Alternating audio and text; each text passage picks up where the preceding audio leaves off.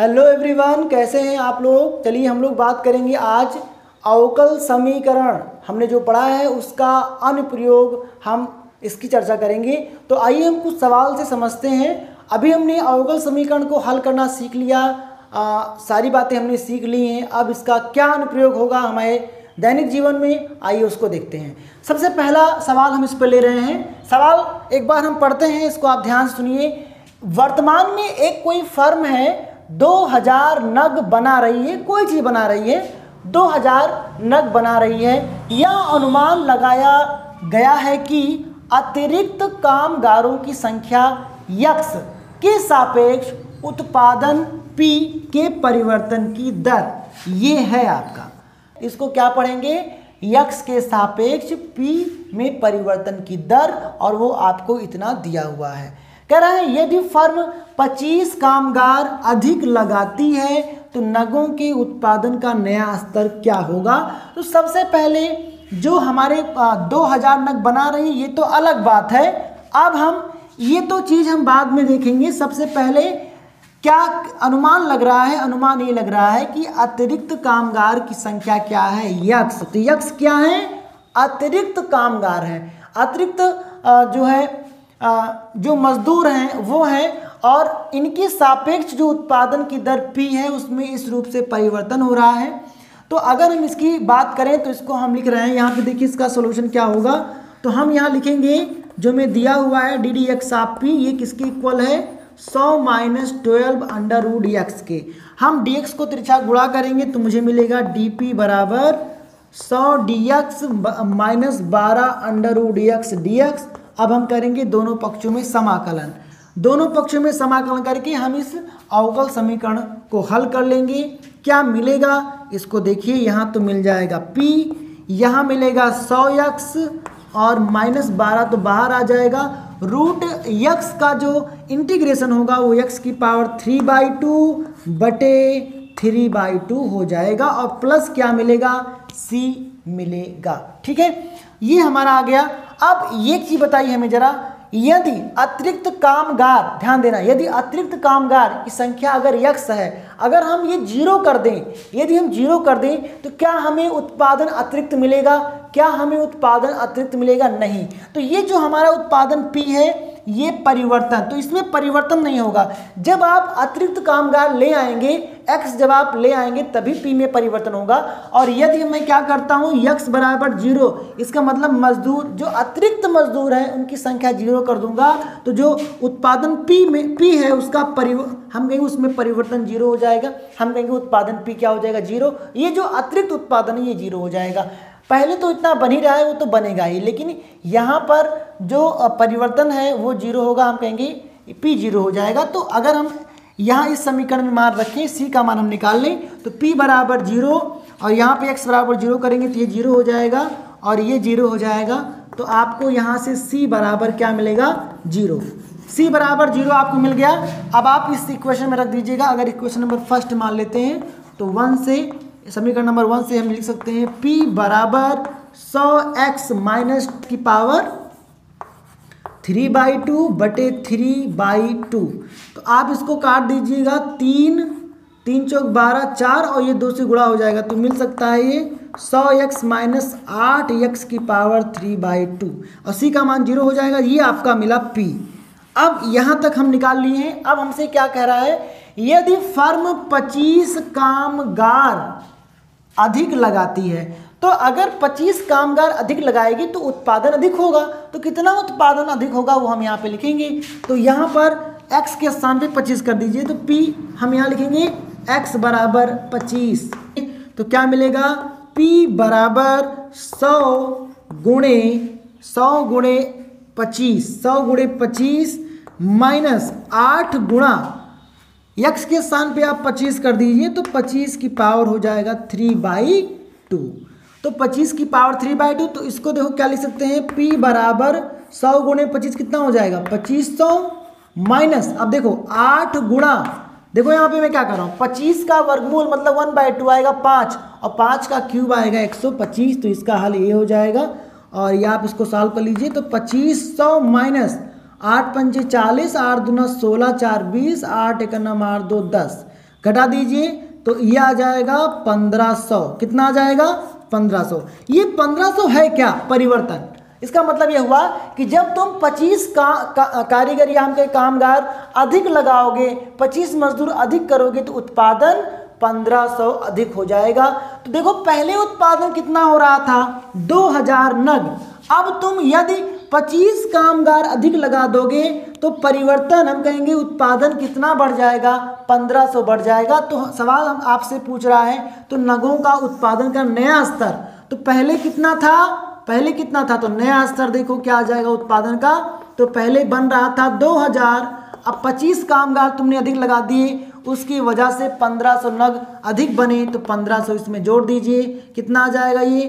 तो दो ज़ीरो पाँच और तीन। पैंतीस सौ नग, ये आपका क्या होगा? नया स्तर होगा। तो इस प्रकार के सवाल हम लगा लेते हैं। आइए हम अदर क्वेश्चन देखते हैं।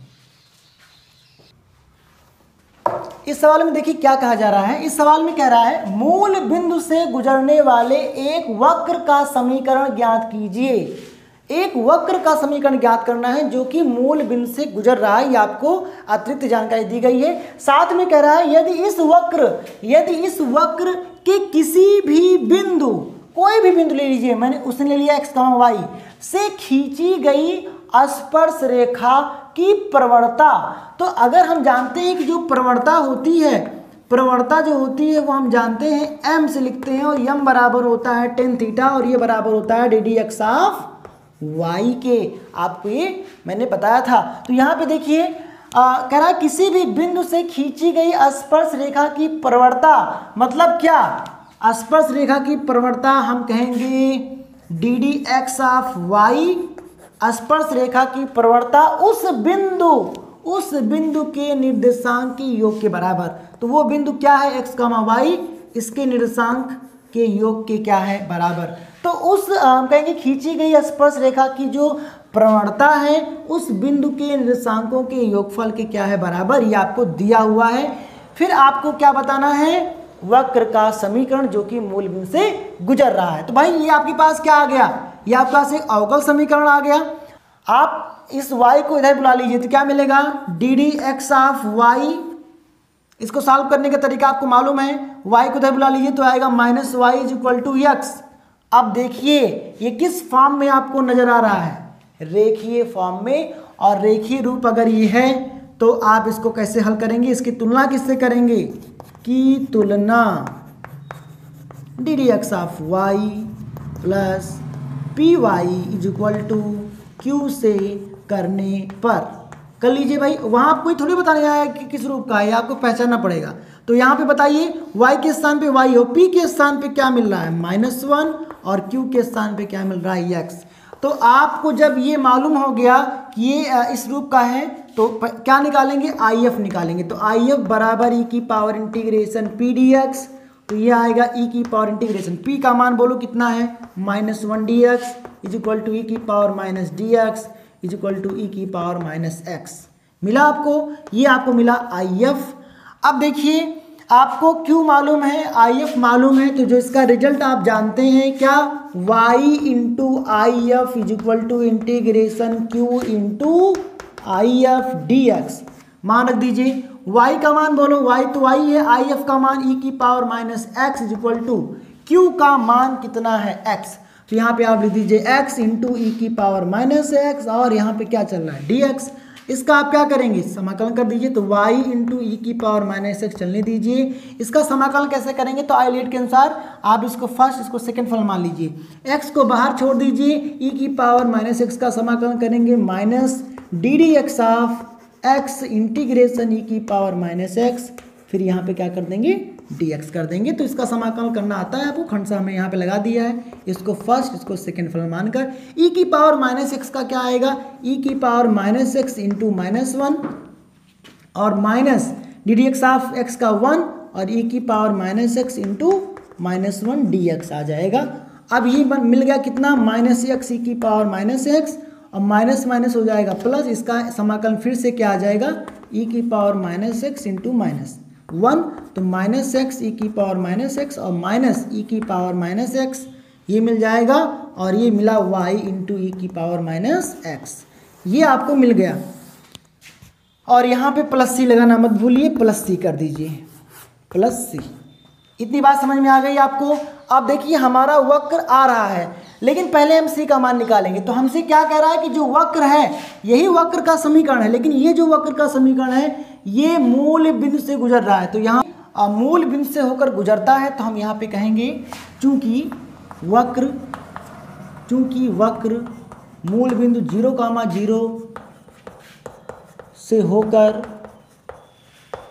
गुजरता है। अतः वक्र के समीकरण, वक्र के वक्र के समीकरण को संतुष्ट करेगा। ठीक है?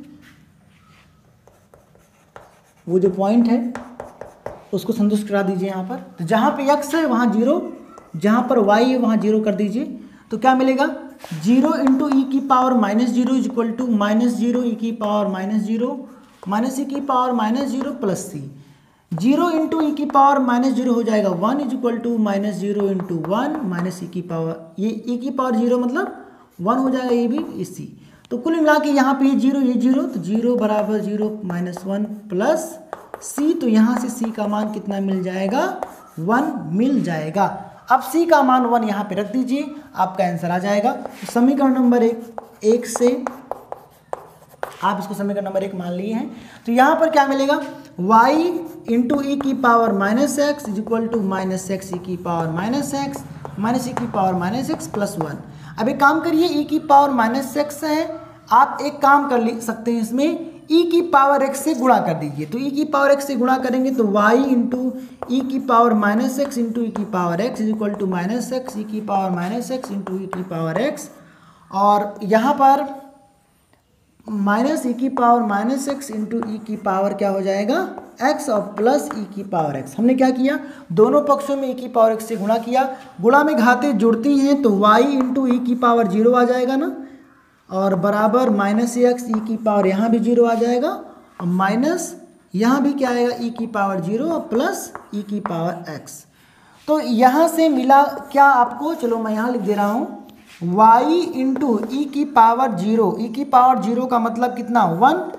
बराबर माइनस एक्स इंटू वन और माइनस वन और प्लस ई की पावर एक्स क्या मिला? वाई बराबर minus x minus one plus e की पावर एक्स आप इन दोनों को इधर कर लीजिए तो क्या आएगा? Y plus x plus one is equal to e की पावर एक्स ये आपका वो वक्र आ गया जो कि मूल बिंदु से गुजरता है और जिस पर जिसके वक्त किसी भी वक्र पर खींची गई जो स्पर्शी होगी, उसकी प्रवणता, उसके निर्देशांकों की योग की क्या होगी?